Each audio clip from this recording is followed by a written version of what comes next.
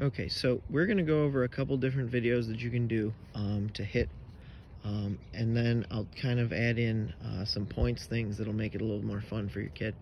Um, you're gonna need a bat, you're gonna need a tee if you have it, and then um, I'm using regular baseball size wiffle balls because if you can hit a baseball, it's gonna end up uh, being way easier than uh, once you get to actual softball, okay?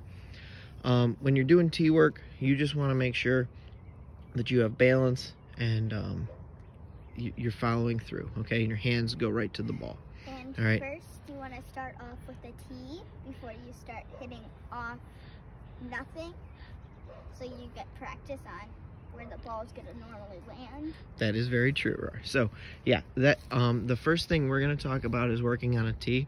All right, so Aurora is going to hit the ball here in a second. Um, if you want to add a fun game to it, all right, you can set up bases if you have bases, and um, they can you just put points to like the different color balls. So if she gets the ball to the bases or beyond, it's one point for a white and three point for a blue. Point, this is two. The blue balls are three. There we go. All right, so. All right, Roar, you want to hit a few so they can see what you're looking to do?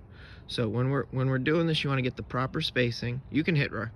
You want to get the proper spacing. It's fine. You got to watch the ball too. All right, proper spacing. There you go. Um, work on balance. You want to keep your weight back, not lunging forward. That's what we've been working on with Aurora, because she was lunging forward. But um, it's all about balance, weight back, hands to ball. Okay, so that's what you're working on with a tee. Get it one more timer. Good girl.